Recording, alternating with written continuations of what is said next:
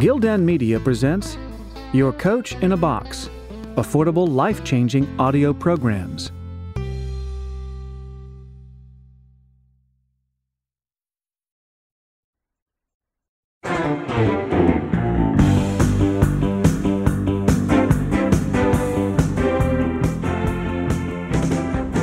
Move over, Dr. Norman Vincent Peale. Optimal thinking has become the successor to positive thinking. Hailed by academia and the media as the next step past positive thinking, optimal thinking empowers us to be our best in any circumstance. It stops us from settling for second best. Created by international best-selling author of Optimal Thinking, Dr. Rosalene Glickman, Optimal thinking programs throughout the world are replacing the Think Positive motto, which has been with us for decades.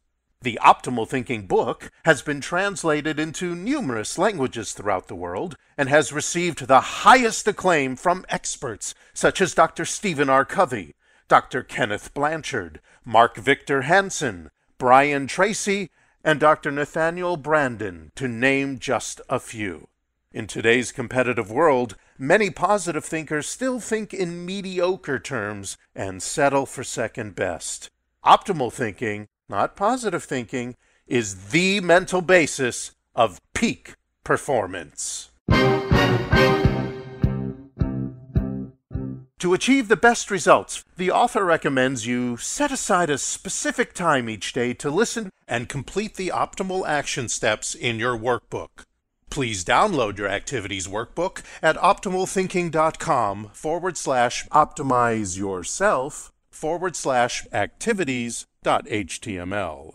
The author and a team of certified optimal trainers are available to provide personal coaching for the entire duration of this program. If you would like information about this option, please contact us at audiocoach at optimalthinking.com.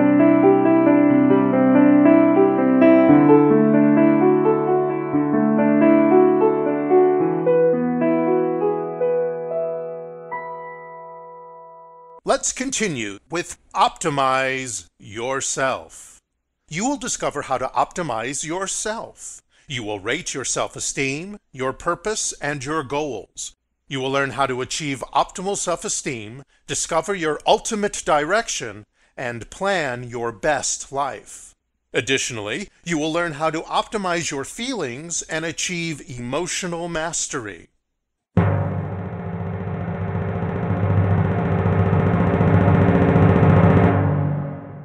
Welcome to day one Rate Your Self Esteem, Purpose, and Goals questionnaire.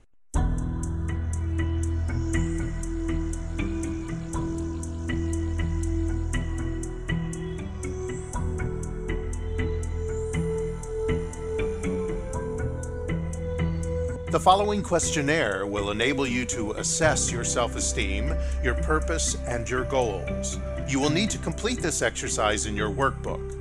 You may prefer to use the electronic version of this questionnaire at optimalthinking.com forward slash optimize yourself forward slash day one dot asp and record your final score in your workbook to accurately rate where you stand right now.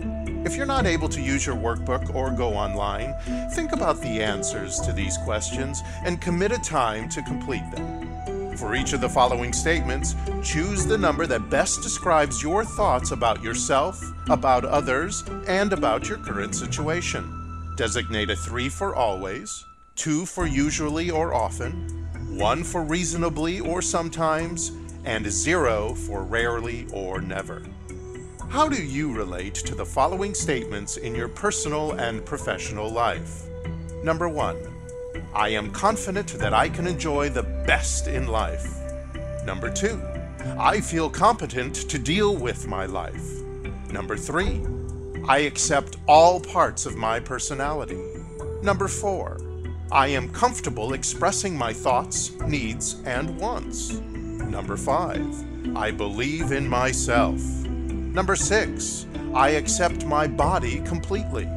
Number seven, I can rely on myself to make the wisest decisions. Number eight, I put my best self in charge. Number 9. I am aware of my purpose in life. Number 10. I know what is supremely important to me. Remember, the instructions to this questionnaire are in your workbook and online. Think about how you relate to the following statements in your personal and professional life. Number 11. I am committed to living life with purpose. Number 12. I know the best way to achieve my most important goal. Number 13. I make the best use of my time. Number 14. I deserve to be happy. Number 15. I forgive myself for making mistakes.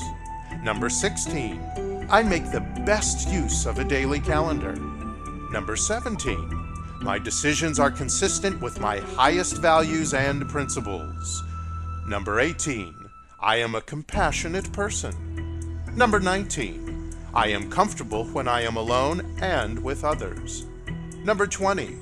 I am grateful for all the good in my life. Number 21. I deal with my feelings as soon as I notice them. Number 22. I listen to the messages my painful feelings give me. Number 23. I give love without expectation of anything in return. Number 24. I can handle myself when I am emotionally hurt. And number 25. I trust myself to behave appropriately. You can now add your scores for each statement to rate your self esteem, purpose, and goals. If your score is between 70 and 75, you are already employing optimal thinking consistently. This audio section of the Optimal Thinking audio program will reinforce your thinking and provide you with additional ways to optimize your self esteem, purpose, and goals. If your score is between 46 and 70, your self esteem, purpose, and goals are extraordinary. However, you have not accomplished what might still be possible or in your best interest.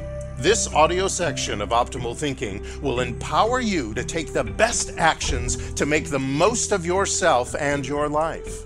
When you choose the best and don't settle for second best, you experience a sense of completion in your life. If your score is between 16 and 45, your self esteem, purpose, and goals are mediocre. You doubt your capabilities and are not making the most of your talents in life. In this audio section of Optimal Thinking, you will gain knowledge, skills, and confidence to support your best interest. You will embrace your uniqueness and learn how to make the most of yourself and your life.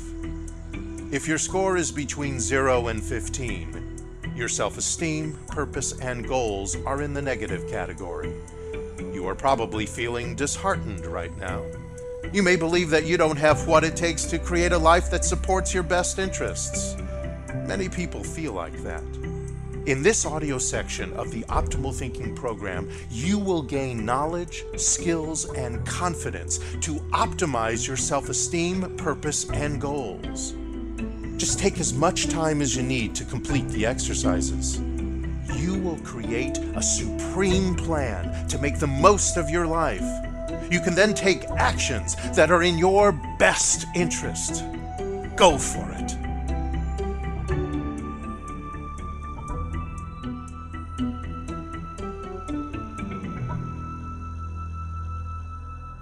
You have just completed day one to optimize your personal life and career, make sure you complete the action steps for day one in your workbook before moving on to the next segment.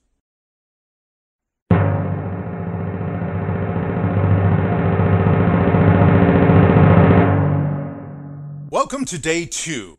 It's my greatest honor and privilege to introduce you to the author of Optimal Thinking and your Optimal Thinking coach, Dr. Rosalene Glickman.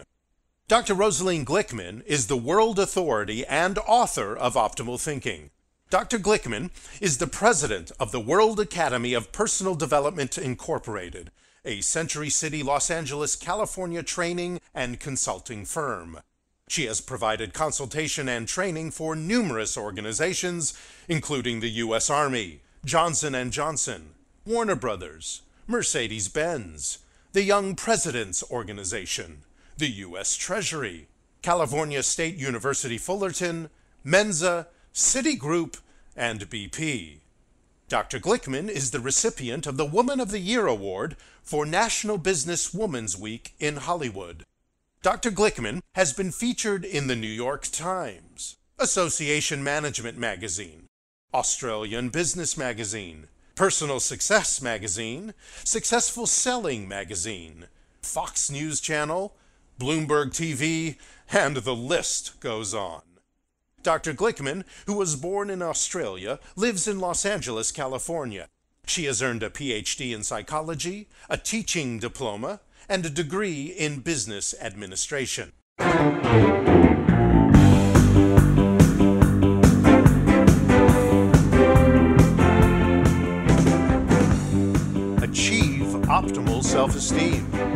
In this section, you will learn how to achieve optimal self esteem you will explore what self esteem is all about, how internal voices impact self esteem, and how the optimal voice resolves suboptimal voices. You will rate your assets and liabilities, then maximize your assets and minimize your liabilities. You will visualize your best self and then authorize your best self to be your caretaker in every circumstance you will learn to accept yourself unconditionally and choose the wisest path in the present moment to maximize your self esteem. Today, you will learn about self esteem and what it's all about, our internal voices, and how to optimize your suboptimal voices. Now let's join Dr. Glickman. Have you heard voices like these? When everything is going right, this little voice inside me says, This is too good to be true. And sure enough, something goes wrong. I can't seem to win. I feel guilty whenever I argue with anyone, even when I know I'm right. I have trouble forming a healthy, intimate relationship because deep down, I don't feel good about myself. When you were growing up, your parents and other important people gave you many signals about the kind of person you were. Some of these signals were encouraging, loving, and validating. They may have said such things as, I love you, you're my pride and joy, you're a clever kid, you can succeed at anything when you put your mind to it. Other messages from these authorities were far from optimal and certainly not affirmative. You may have heard why did you do a dumb thing like that? You never do anything right. You're a bad child.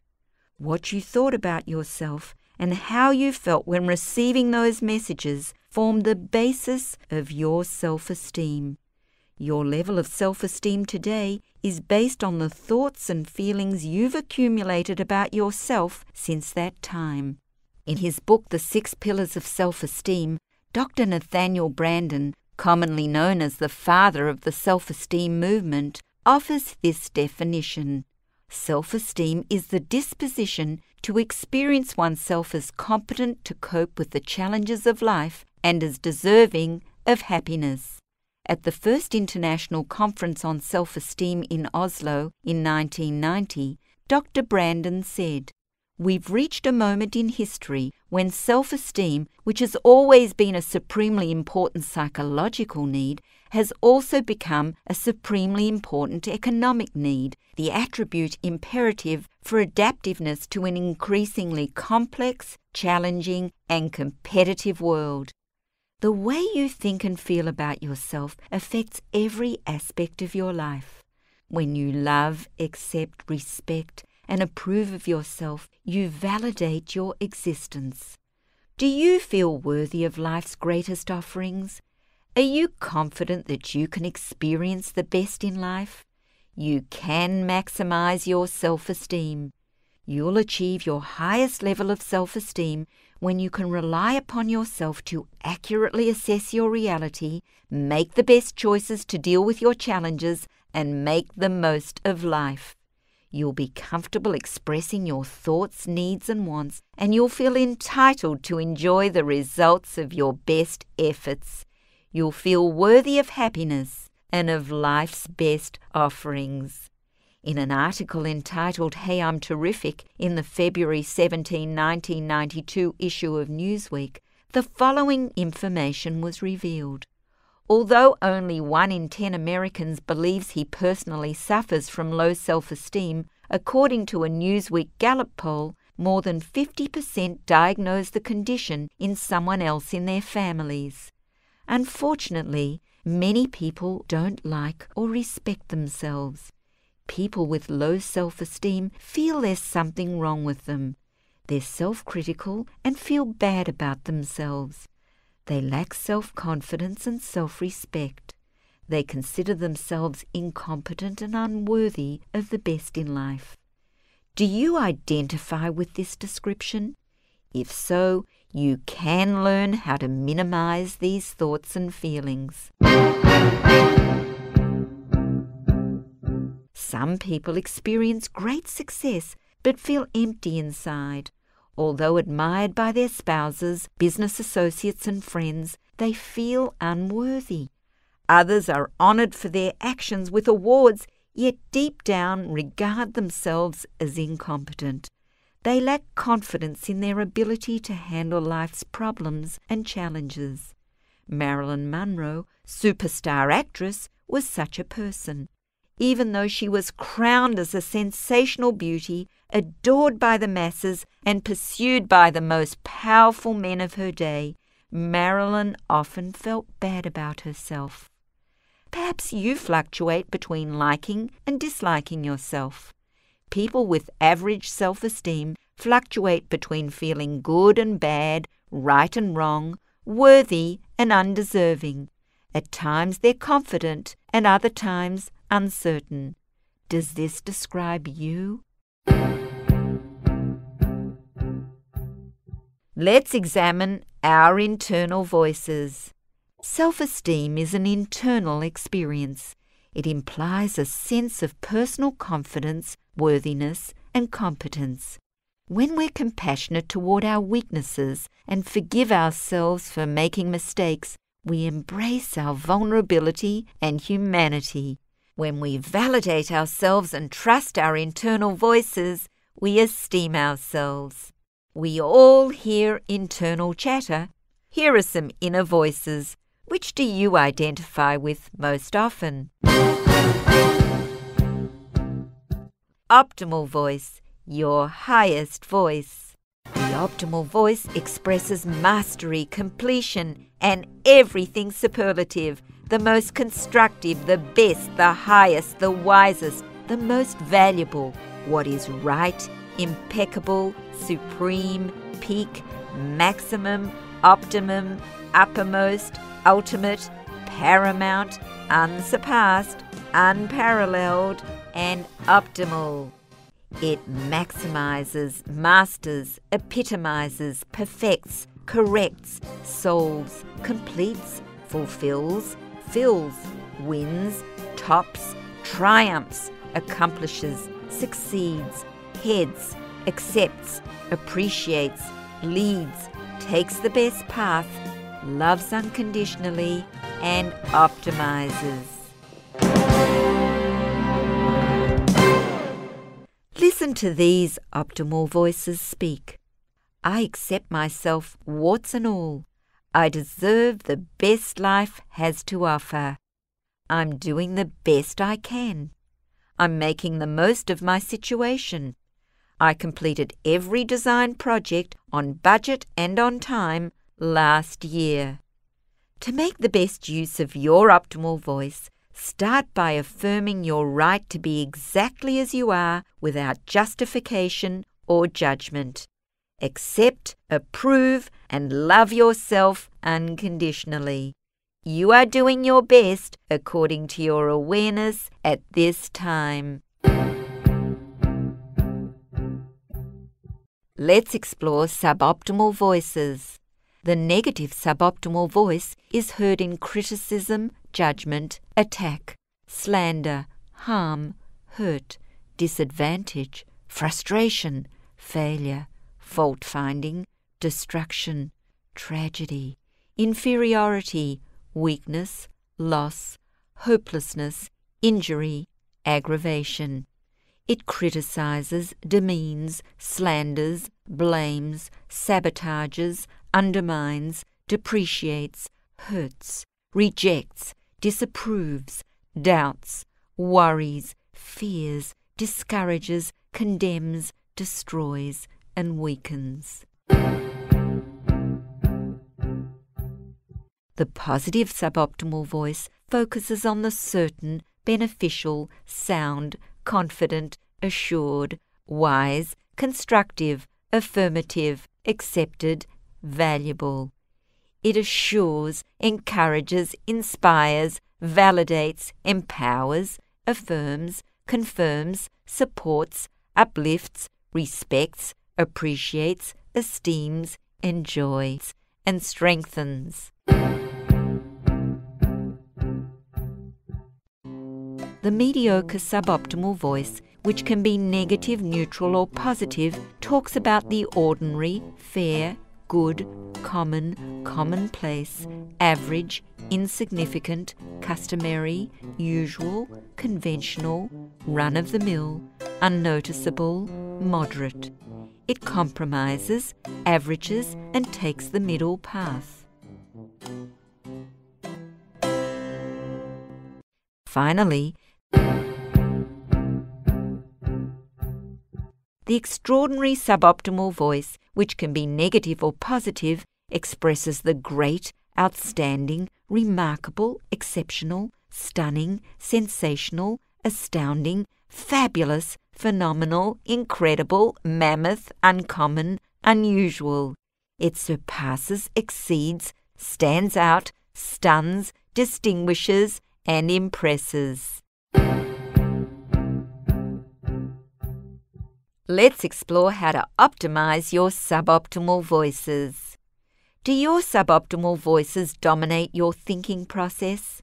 You can accept them, learn from them, and optimize them. Acknowledging and resolving your destructive negative voice is necessary for a healthy self concept.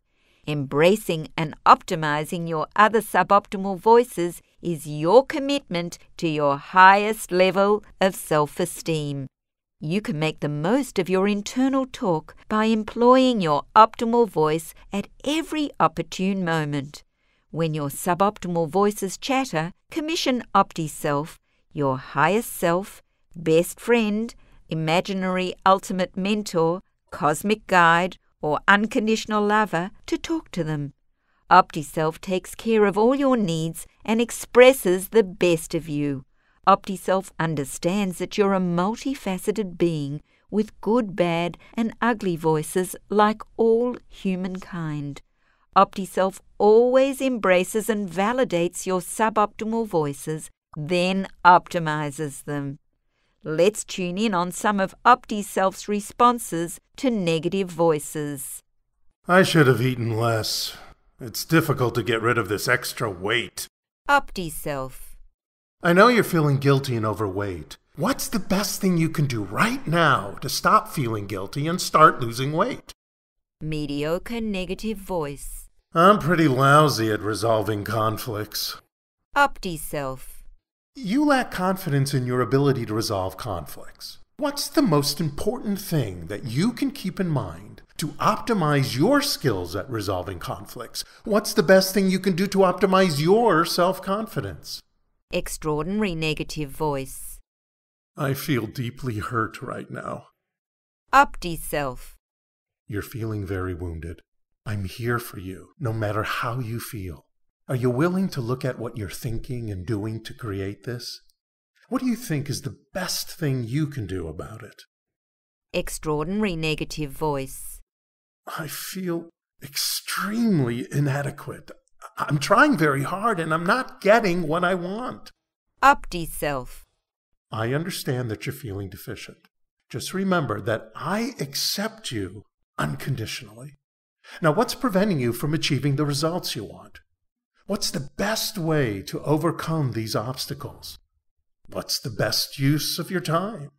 To optimize your suboptimal voices, start writing your optimal responses on paper or type them on your computer. Carry them with you. Jot down each suboptimal message and then write OptiSelf's response. The more you practice, the more competent you'll become.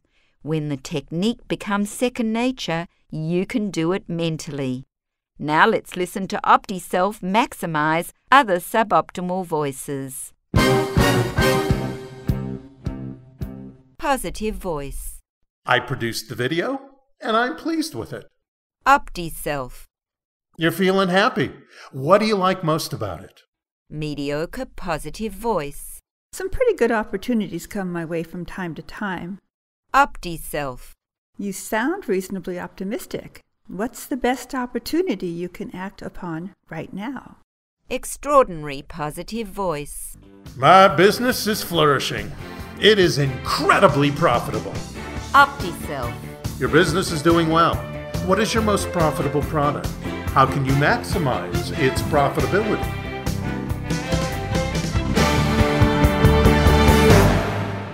You have just completed day two. To optimize your personal life and career, make sure you complete the action steps in your workbook before moving on to the next segment.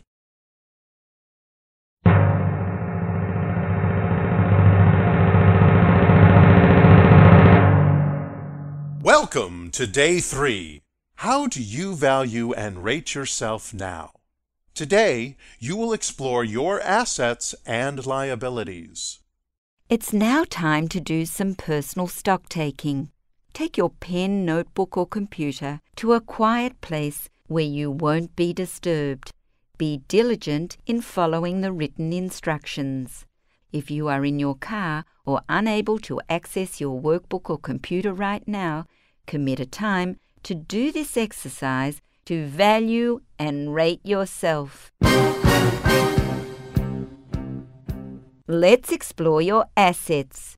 When we were growing up, our parents and teachers cautioned us against boasting. We were criticized for being braggarts when we talked expansively about ourselves. Many of us were told actions speak louder than words. As a result, many of us feel uncomfortable talking openly about our strengths. The following six categories have been chosen to assist you in accurately describing your assets. 1. Physical assets. 2. Mental and spiritual strengths. 3. Personality strengths. 4. Social strengths. 5. Career and or daily task strengths. And 6. Personal achievements. For each category, write down your favorable attributes. Note what you like about yourself. Be as specific as possible. After you've identified your strengths, Arrange them in order of greatest benefit to you, starting with your greatest asset and then proceeding down your list with those assets of lesser benefit to you. Now you can define what you like most about yourself. Now let's explore liabilities. 1. Physical liabilities. 2. Mental and spiritual liabilities. 3. Personality weaknesses. 4. Social weaknesses. 5. Career and or daily task weaknesses. We hope you enjoyed this preview. To continue listening to this audiobook on Google Play Books, use the link in the video description.